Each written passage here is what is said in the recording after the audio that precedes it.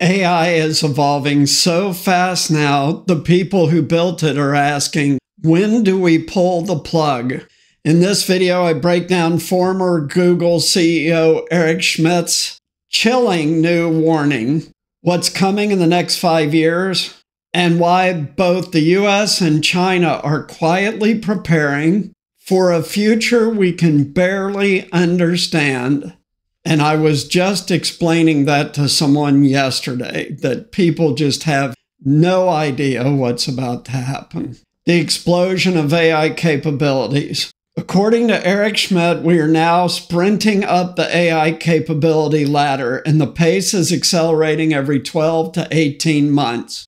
Three breakthroughs are reshaping everything. Number one, infinite context windows.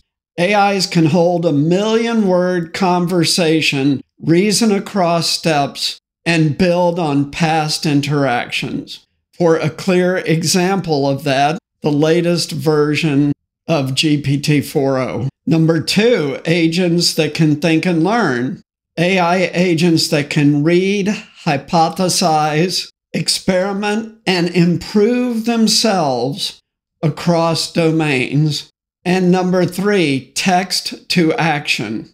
So you say to Chat GPT or Gemini or Claude or whatever, build me this tool, and the AI writes the code. No developers needed. That is now. There was an article in CNBC just last week talking about how the big tech companies are not hiring people this year straight out of college to code. Something to be aware of if you're just finishing college. Schmidt warns this is just the start. Soon, agents will start collaborating, possibly developing their own languages. See last video. And that's when we no longer understand what they're doing anymore. So, when do we pull the plug? When agents can act autonomously, reason across thousands of steps, and collaborate, what happens when we lose track of the consequences? I would go further and say, what happens when we can't even understand what they're doing? Schmidt's answer that's the point where we consider pulling the plug. But how do you know when you've reached that point? He says it won't be one moment. It'll be a slow accumulation. So the risk isn't just AGI, it's runaway coordination and capability drift beyond human oversight. What about regulation? Schmidt is optimistic about regulation in the West, thanks to legal accountability, safety institute, and pressure from civil society. As my viewers know, Unfortunately, I'm not so optimistic, and I've explained why. But he draws a sharp contrast. Once open source models and weights are released, which has been happening with more frequency lately, they spread instantly to China, Russia, and North Korea. These systems weren't built to harm, but they can be misused instantly.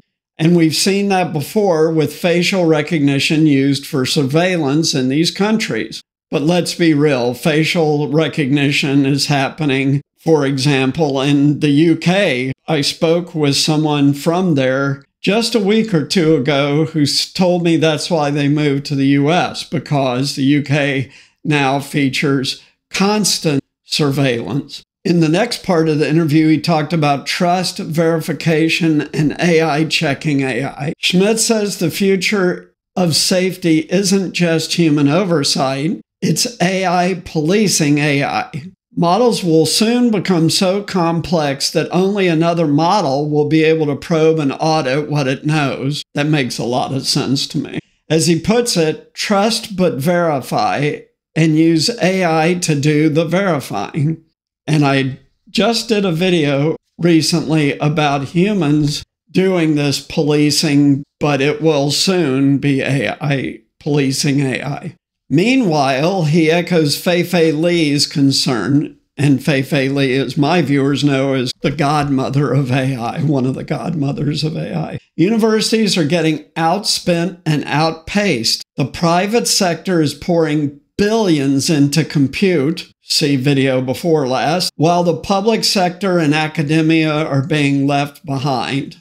In the next part of the interview, he talks about US versus China cooperation or competition. Schmidt lays it out clearly. China is about two years behind the US in generative AI. Now, he said this several months ago, and that is not the case anymore. That's how quickly that changed. Why did it change? Their biggest bottleneck lack of access to top tier chips due to US export controls. On that, See video after next coming. The delay is temporary, not permanent, he said. And again, this is a few months ago, and that has changed already. What's more dangerous, Schmidt argues, is the asymmetry in how AI will be used, meaning how it's used differently in the two countries. In China, it will be used for censorship and party state control, clearly. In the US, open access and the proliferation problem, meaning more and more and more models. This is why Schmidt and the late Henry Kissinger pushed for a high level East West AI dialogue, a track to informal alliance two avoid AI surprises, especially regarding warfare and bioweapons. See last week's videos on the bioweapons issue. Part 6 The Real Long Term Danger. Schmidt warns that the ultimate threat is recursive self improvement. This is how it gets to superintelligence, where agents run thousands of reasoning loops and evolve faster than we can track. Add agent to agent communication, and you get systems that may pursue goals we never intended and don't understand. He argues for a global safety structure like biosafety levels in biology, so that does exist. There are safety controls to prevent bioweapons being created and uh, being released, and even predicts we may one day house top tier AI systems in military bases protected like nuclear weapons. That may be possible. So, how does he wrap it up, the interview? We're not just racing towards smarter machines, Schmidt says. We're heading into a world we may not be able to explain, control, or shut down. Watch the Terminator movies. So, the question isn't when AI takes off, it already has. It's past the inflection point, as I've talked about numerous times. The question is, will we shape it or will it shape us? And this has a critical impact on you because out of control AI improvement will lead to faster and faster automation of the entire economy. This is why, as I've repeatedly urged you, you need to pick career paths that are relatively technology resistant so that you can work as long as possible until there is no work like that anymore. This is coming by most of the people creating this stuff say 2040.